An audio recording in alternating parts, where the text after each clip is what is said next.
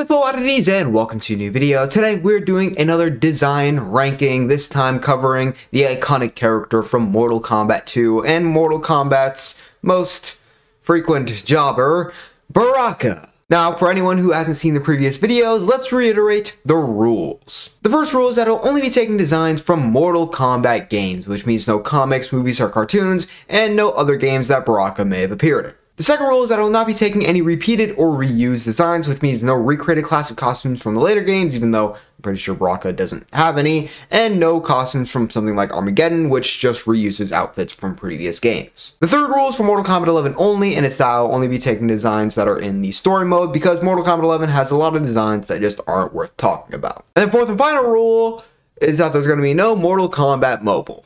Why?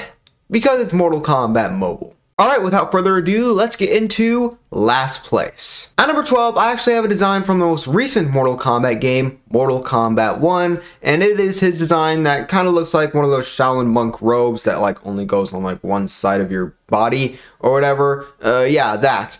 And this design is not terrible or anything, but it's just not really a design that's really worth anything. It's just kind of there. And with a character like Baraka that doesn't have any sort of terrible designs, those are the designs that you're going to have to go with for last place because there's nothing that's just like appalling to see. So when it comes to this, uh, the big thing here is that none of the recolors uh, have the classic white and red color scheme that Baraka is known for. And it's not like Baraka always has to have that color scheme for his outfits to look good. There are multiple costumes later on in this list that do not have white or red, but still look awesome. And I just feel like for a design like this, where it really has nothing unique about it, the fact that it doesn't have those colors that stand out about Baraka, it just kind of makes the whole design kind of fall flat. And there's really nothing really unique about it. There's nothing interesting about it. It's literally just there. So I'm going to put it in last place.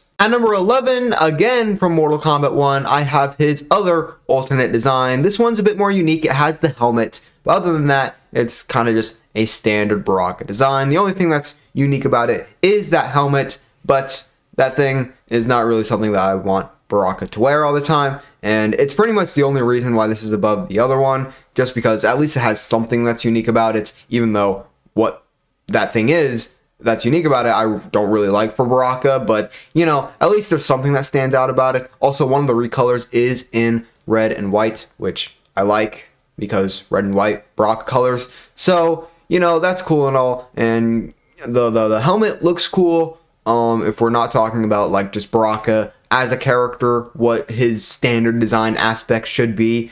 Like the helmet looks cool. Like it's a fine design, but you know, eh, these are like NPC sort of designs. This is what I didn't like a lot of from Mortal Kombat 11 because a lot of the designs in that game are just kind of like NPC feeling. Like it's just like, oh, this is a character you'd see in the background or something. And in Mortal Kombat 1, it it almost got, it gets worse because of the art style of the game and it not being as like I don't know, flashy, vibrant or whatever, modern, I guess, compared to Mortal Kombat 11. And so with that game, a lot of designs felt a bit more unique, whereas these ones, you know, it's got that like more practical, ancient sort of feel to it, which just makes them feel like more so NPCs. And you know, with the colors and stuff, it just this game kind of struggles a bit in that aspect. And I think that's part of the reason why it's struggling so much right now is because none of the designs are really worth getting besides the ones that you have to pay for. Uh, but yeah, let's not turn this into a Mortal Kombat 1 rant. Uh, that's a video for another time, and that will be a video for another time coming soon. But, uh, yeah, 11th uh, place here is this design for Baraka. Moving on. At number 10, I have his Mortal Kombat 9 alternate design. Now, this design definitely does not feel like something Baraka would normally wear, practically like in universe doesn't make sense for him to wear it. Yeah probably. It's you know armored outfit. It makes him look a little scary. But in terms of just like how aesthetically baraka normally looks how people most often want him to look this isn't really something people generally like. And it's not something that i like. And also it's way way over designed there's just too much going on in this outfit. And the colors are kind of whack with it mostly being like brownish, goldish, those sort of colors. Not really something that's fitting to Baraka because Baraka, you know, with his skin tone and just like the way he is, like already his design is very bland-ish, brownish, just desaturated colors. So when you give him even more outfits and stuff that just kind of make it all blend together, it, kind of doesn't look good. And it makes him just look like a standard Tarkatan rather than Baraka. And Baraka's supposed to have these flashy, you know, white, red colors that I've been talking about. And so when you don't have that, then he just looks like a normal Tarkatan, and that's boring. So, yeah, we have another design here.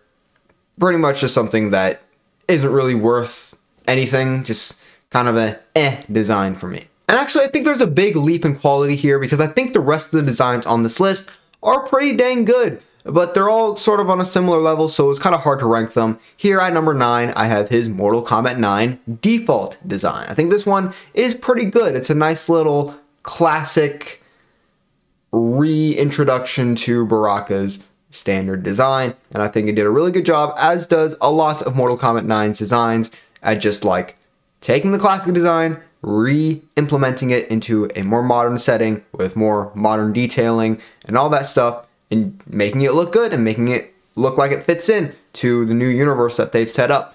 Uh, this one, there's not really too much that's too like that, that, that like stands out about it. I feel like some of the other designs coming up, you know, that incorporate the classic elements, they bring something to the table that is new and that feels like fresh. Whereas this one, it's kind of just like standard Baraka, and you know, it looks good in that aspect, but you know, just something a little bit more flair to it would be a bit nice. I also think the colors are a bit too desaturated. I would prefer the white and the red to be a bit brighter and a bit more just out there and uh, make make it like pop out a bit more and uh, stand out. But uh, it's a good design. I like this one for Baraka. I also do like the metal things, the the claws. What are they? What do you call them? The blades, right? Okay, the blades. I, I like the metal ones more than the bone ones. I think Baraka should have the metal blades. Tarkatans should have the bone blades. Baraka is a Tarkatan, obviously, but like to stand out from the other Tarkatans, Baraka should have the metal blade because I just think that's cool. And so, yeah, here at number 9, Mortal Kombat 9. At number 8, I have his Mortal Kombat Shaolin Monks design. This is another sort of redesign of that classic costume, and I think this one is just a little bit better than the Mortal Kombat 9 one. Not by much, but I like the colors a bit more. I also like when Baraka has a bit more of like a unique, monstrous face. I don't really like when he's just like a bald dude with teeth. Like that's kind of boring. I like it when like they have the wrinkles and the bones and stuff sticking out of his head. I think that always looks really cool. I also really like the loincloth, I guess it would be called, in this design. I think it's nicely detailed and fits Baraka a lot. But other than that, kind of basic, not really much to it, but you know, simple can be pretty effective as well, just as effective as like being really, really detailed and designed. But I feel like, you know, there are other designs later on which I just feel like feel a bit more complete and put together. And so Shaolin Monks, really, really good, I think, but there's just better ones coming forward. And we're gonna see them. And at number seven, we're at the one that started it all. Classic Nosferatu with nails plastered onto his teeth. Uh, yeah, Mortal Kombat 2 Baraka. Now, this design is obviously very iconic.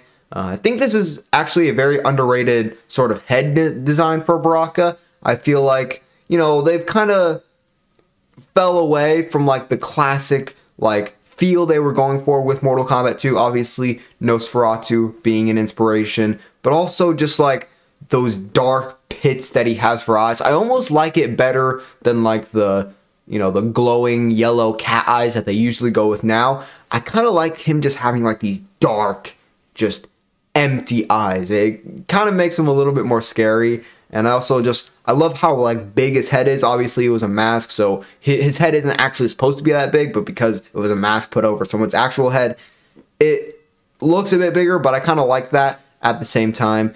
And, you know, I think this is just kind of underrated uh, an underrated design for Baraka. Usually everyone's raving about how great the classic designs are. And I feel like Baraka is just one of those characters who kind of gets left behind in that praise. I feel like people don't, in general, just like talk about Baraka's designs. But he can have some pretty good ones, and I think Mortal Kombat 2, super, super underrated, and people should talk about it more. Obviously, this is sort of the design that inspired everything that came after, or most things that came after, some of the ones we've already talked about in this video. And I think this one, definitely one of the better ones when it comes to just that classic Baraka with the white and the red sort of, I don't know if it's a robe or a gi or whatever you'd call it. I think this one might be the best one out of all of them.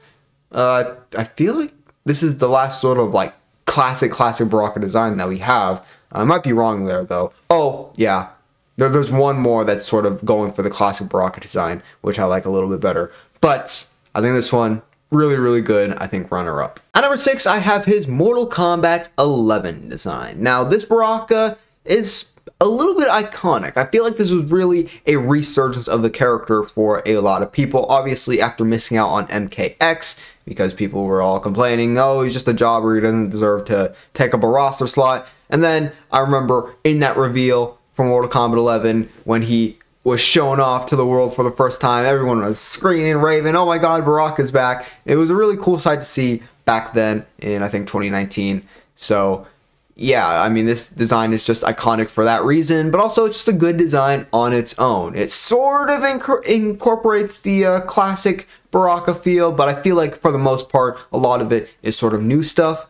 And uh, this Baraka feels very stocky and bulky. I'm not sure if I prefer that, but it definitely makes for a more unique design choice. His head is a bit more round. I like the way the teeth are. You know, usually they're a bit more open, I guess. I don't know really how to, how to describe it, but they're a bit more wide. This one is a bit more compact, and the teeth like feel a bit more smaller, but more jagged and more sharp. I kind of like that. Um, you know, this design, it's just a solid Baraka design. You know, it's just a solid design in general uh, for MK11. I think it's one of MK11's lesser over-designed designs because I feel like MK11 has a lot of designs that are just too much, and I feel like this design kind of nails it, gets it on point for what Mortal Kombat design should be in the modern age, where it's, you know, it's clear that it's more detailed compared to previous games, but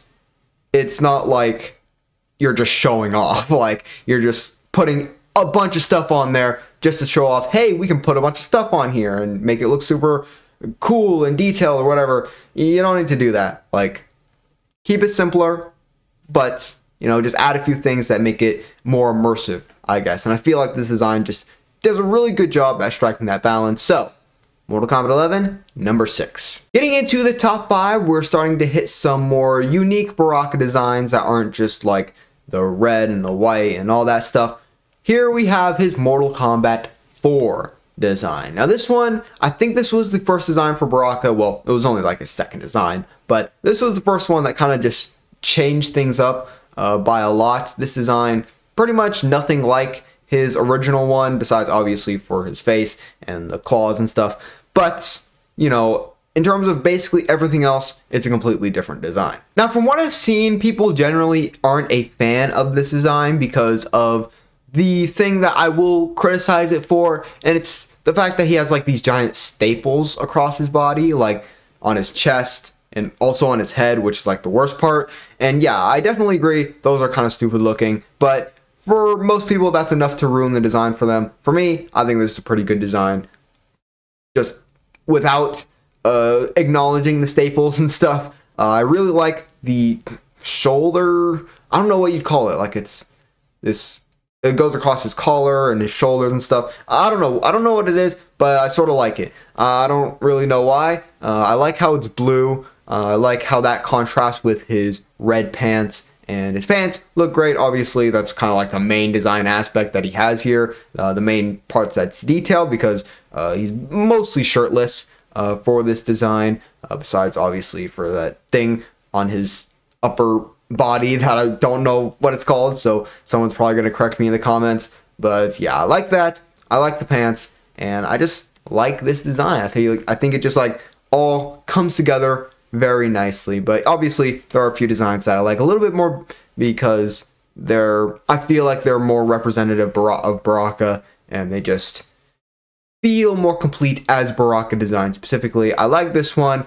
but if I was thinking of a definitive Baraka, it wouldn't be this. At number four, I have the Mortal Kombat versus DC Universe Baraka design. Now this one, I like it. Uh, I think this is another sort of armored Baraka designs, which we have a few of on this list. And I think this one is one of the better ones. I think uh, it just, you know, it has sort of that samurai feel, which I don't really associate Baraka with samurai, but I feel like just for his character, it kind of fits in a weird way. And so I like how the armor comes together. Obviously, his face and stuff is very similar to Mortal Kombat 9 because Mortal Kombat 9 took a lot of stuff from DC Universe in terms of just assets and character models and stuff like that. And so, you know, uh, in terms of that, it, it gets a little repetitive feeling and it feels a bit like a rehash. Not obviously that's not Mortal Kombat versus DC Universe's fault, but uh, I feel like it falls more on DC Universe just because Mortal Kombat 9 was so much more popular that you're gonna be like, um, this looks like the Mortal Kombat 9 Baraka instead of the other way around. So uh, it's whatever, but uh, it's just something that I've noticed. And uh, other than that, great design. I don't really have too much to say on it. It's just it, it's a good design, and I have it at number four. At number three, I have his Mortal Kombat X design. Another one that's kind of underrated in my opinion, along with Mortal Kombat 4 and Mortal Kombat 2. Obviously, Baraka wasn't in Mortal Kombat X as a playable character, so I can understand more why this one would be underrated. But I feel like this one is just a really cool looking design. Like specifically using that word cool. Like something about it just like it feels like that word embodied as a Baraka design. And uh, I feel like the armor looks really neat. I like the sort of ropes. I feel like they do get, get a bit excessive with like the ropes and stuff around his arms, and uh, I, I don't really like that. But uh, other than that, I think this is a really, really good design. I think this is sort of peak Baraka facial design or head design or whatever. Um, there's one other design that might be a little bit better uh, that we're going to talk about, but uh, this one's a really, really great one too. I like the eyes on this one. It's not just the standard cat eyes. It's like these pale, uh, no irises or whatever, or no pupils, whatever sort of design. And I like that. And um, yeah, and I like the bones and stuff sticking out of his face. I like the way the mouth looks. I like that they didn't give him lips like they did with Mileena. Thank God that they didn't do that. But uh, yeah, I think this one just a good Baraka design. Once again, just a neat one. There's not really much to talk about with Baraka's designs because they it's not that they feel samey because there's obviously a lot of differences, but you know, it's just it's just Baraka. It's just Baraka. Uh, that's that's really all there is to it. At number three, I have his Mortal Kombat Deception design. Now, this one is sort of similar to the Mortal Kombat X one. I feel like the Mortal Kombat X one is uh, sort of a more detailed version of this one, but as I said earlier, detail does not always equal a better design, and I feel like this is a good example of that because, you know, where that design added more things and added random stuff to that design to supposedly make it better uh, or more detailed, more interesting, whatever. This one is just a better design using like what they already had instead of you know, adding more stuff, just adding piling on top. This design took just basic elements and just put them in a way, put, put it all together in a way that just looks better uh, using different colors, uh, different placements, getting rid of certain aspects. And I feel like it's just a better design because of it. Uh, the colors on this one are much more vibrant uh, with the blue and the red and I like the head design on this one. I don't think I like it as much as the Mortal Kombat X one, but I like how the head looks on this one as well. This is when Baraka really started to be started to get like the crazy designs and the wrinkles and the bones and stuff on his head, and it looks really great. I remember for whatever reason, I always remember that one. I don't know if it was the trailer, but uh, that one like cutscene or whatever of him fighting Mileena. I think he was fighting Mileena that, that was what was happening, right? Mileena and Baraka were in the cutscene. I don't remember if they were fighting each other or fighting someone else, but they were there. And uh, I think Baraka was one of the main like selling points of the game. Uh, I think yeah, he had like a cover, um, or one of the covers. One of them was Onaga, one of them was Baraka, and so you know that just makes it clear how good this design was because people were able to see a classic character brought to life uh, in this new version of Mortal Kombat, and people were like, "Oh wow, Baraka! I remember him. He looks awesome now," and that's a good thing. And so Deception, I don't know if they sold solely because of Baraka, but they sold well, possibly because of how cool Baraka looked. So th- that's good.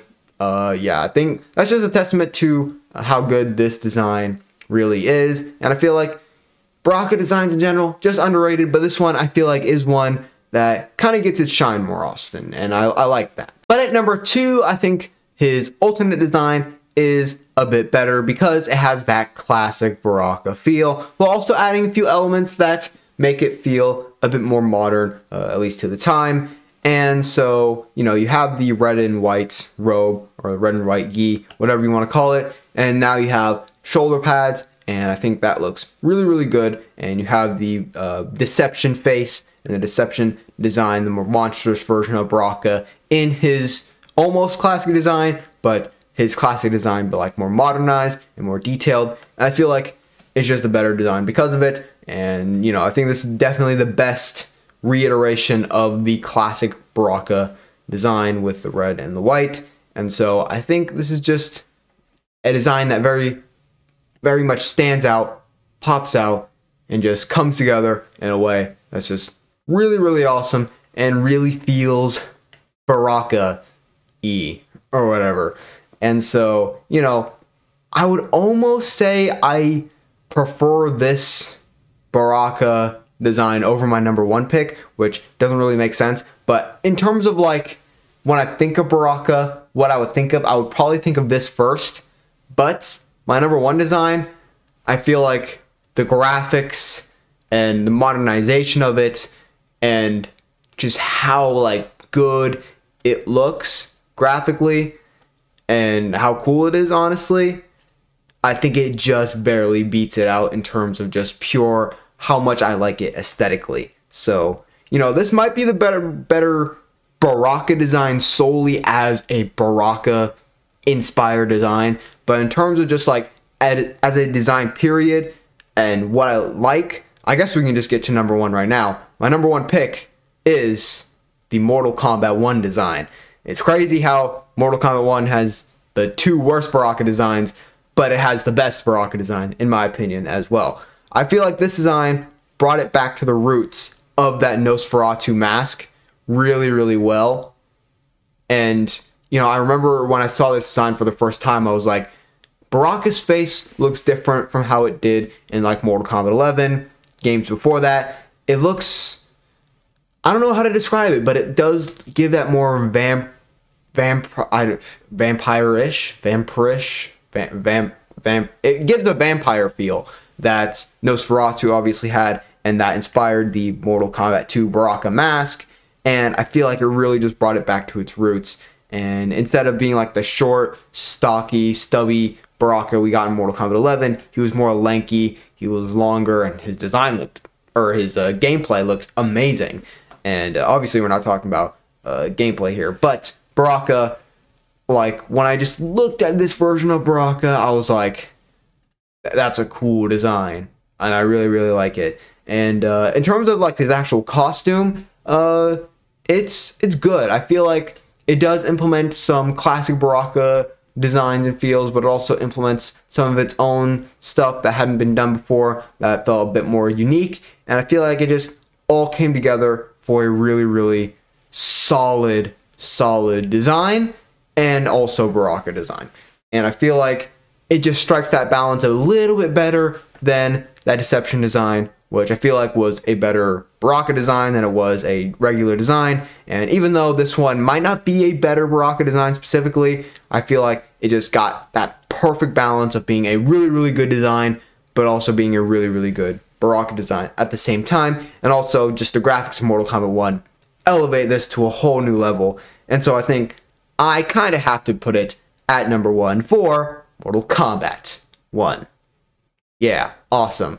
Next character that I'll be doing, because that's it for this video. Obviously, I got the number one. Next character I'll be doing is the Blind Swordsman, Kenshi, because Mortal Kombat 1 finally gave him more than 10 designs, which means I can make a ranking video on him because I only cover characters that have at least 10 designs, at least for now. But uh, yeah, you guys let me know after Kenshi which characters I should do because uh, you know, obviously I can just like look through the Mortal Kombat characters and see who has 10 designs and all that, but it would just be easier if you guys decided it for me. Plus, I would know what you guys would want to see and what would uh, make you guys happy. So definitely make sure, let me know in the comments who you want to see after Kenshi and uh, in the future. Uh, and yeah, make sure to check out the links in the description to my merch store, my Mortal Kombat Retold podcast, my Twitter, and my Instagram. Also, give this video a like so that more people get to see it within YouTube's weird algorithm. And uh, make sure to subscribe, turn the notification bell. And with that being said, that's it for this video, my fellow oddities. I'll see you next time.